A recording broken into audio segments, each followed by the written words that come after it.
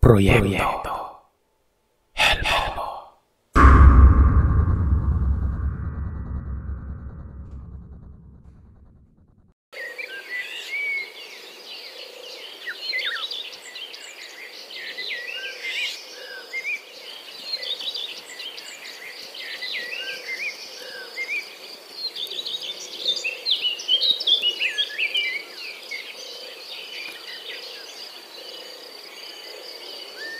Magandang umaga po, Sir Seth.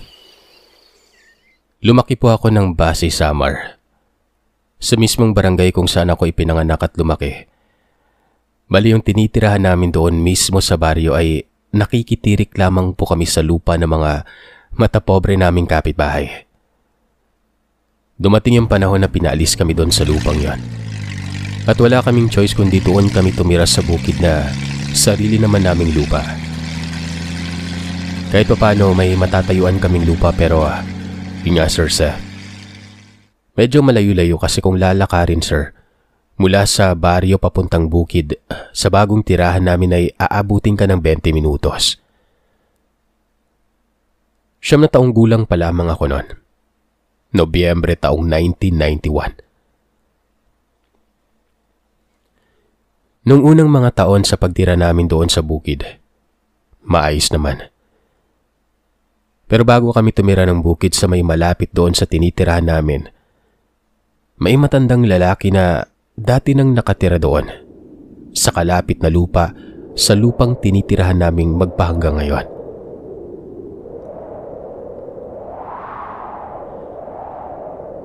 Kada gabi Sir Seth, dumarating palagi na may tunog ng wakwak at tiktik sa paligid. Tila ba daanan yung bahay namin ng aswang? Minsan yung huni, naririnig namin na parang malapit lamang na nasa likod bahay lang. Minsan naman, may pagkakataong naririnig namin na nasa itaas yung huni. Di ba nga may kasabihan tayo? Sabi din ng tatay ko na kapag ang huni daw ng aswang ay nasa malayo, ibig sabihin ay malapit lamang yon. Kapag malapit o malakas naman ang huni, ibig sabihin ay malayo yon. Minsanan lamang kapag tahimik ang gabi sa amin. Kumaga, wala kaming naririnig na tunog ng tiktik. Pero kadalasan, Sir Seth, talagang ginagabi-gabi kami. Wika nga ng tatay ko ay parang daanan nga daw ng aswang ang tinitirikan ng bahay namin. Sa ikalawang taon naming pagtira sa bukid na yon, bali yung matandang lalaki na kapitbahay namin na tawagin na lamang nating Lolo Pablo. Malawak yung taniman niya ng iba't ibang gulay. Prutas, tulad ng kamote, kamoting kahoy, gabe, tubo, mani, marami pang iba. Minsan ay nalalagi kaming pumupunta sa kanya kasi nga mga bata po kami at walang kamuwang-muwang. Basta ang alam lamang namin ay lagi kaming napunta kay Lolo Pablo. Manghihingi kami ng tubo at hinog ng saging. Lumipas ang mga buwan sa ikalawang taon naming pagtira doon. Patuloy pa rin ang pagdaan ng aswang sa may bahay pero wala po kaming kahit katiting na paghihinala na posibleng kapitbahay namin ito. Para kasing tunay na lolo na rin yung turing namin sa kanya. Wala na rin po kasi kaming lolo noon at malaki ang respeto namin sa kanya bilang isang matanda at nag-iisa naming kapitbahay sa bukid. Matatapos ng ikalawang taon ng pagtira namin sa bukid, nagkataon na yung nanay ko ay buntis. Pagbuntis kasi yung nanay ko, ako yung unang nakakaalam sa aming magkakapatid kasi panganay na babae ako. Ako lang yung medyo nakakaintindi. Sampung taong gulang pa lamang ang edad ko noon.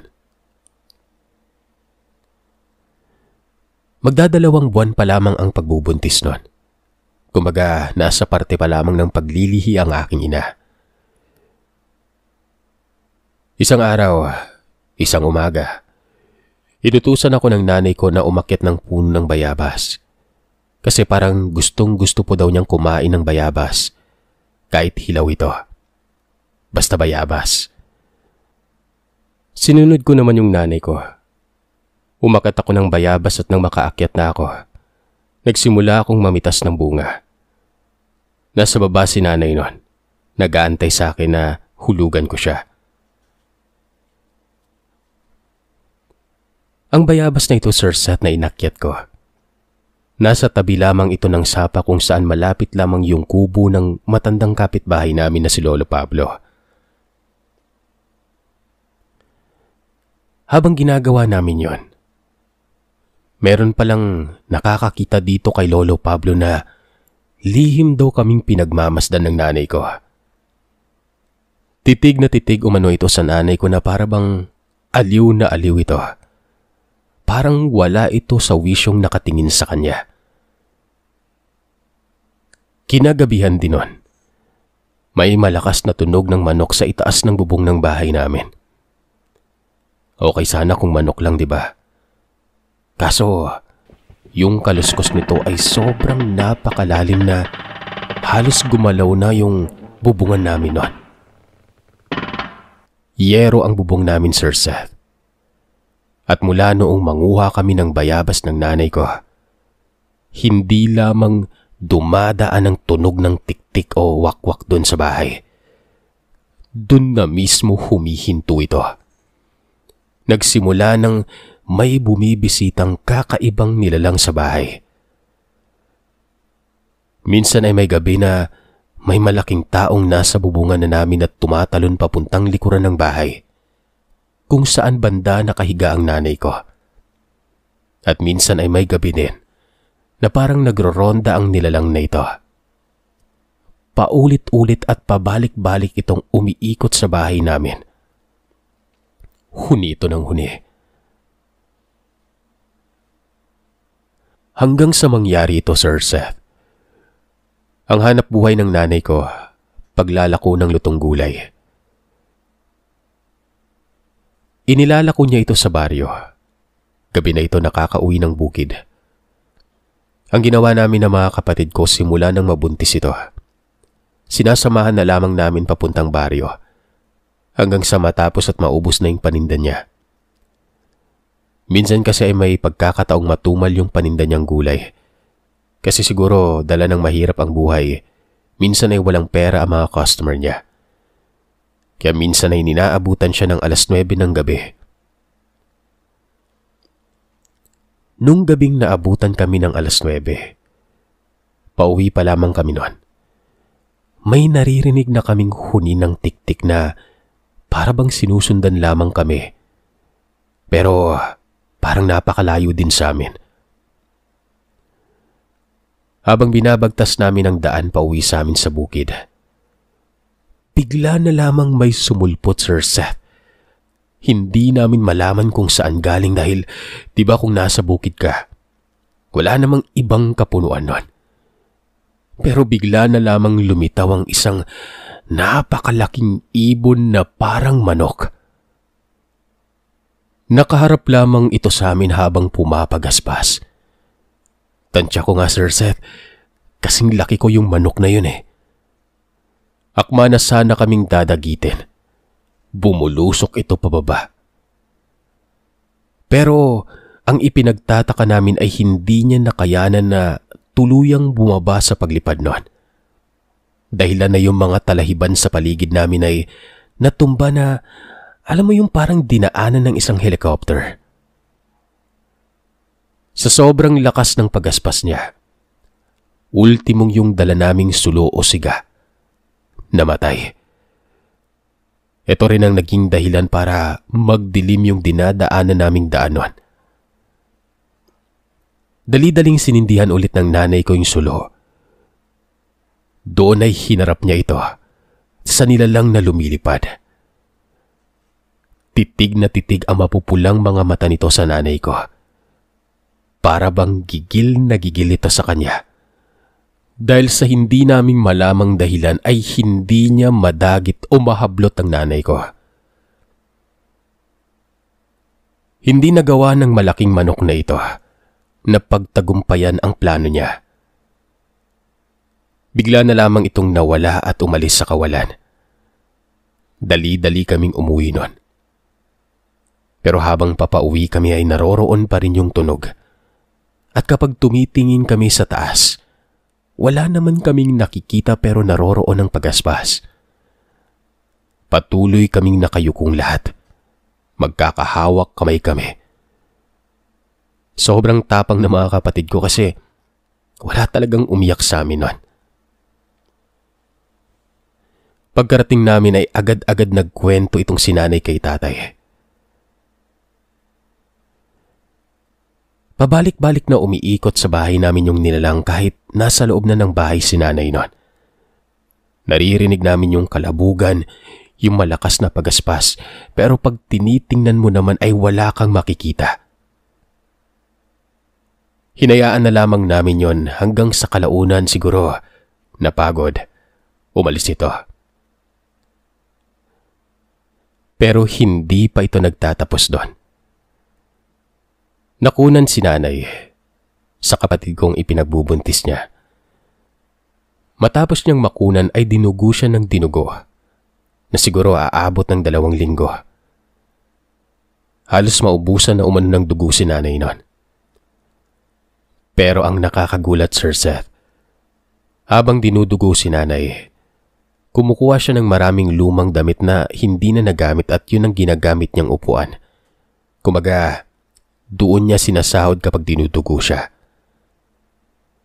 At nung hindi na matigil-tigil ang dugo ni nanay, hindi na siya muling kumuha ng panibagong mga damit na luna na gagamitin niya.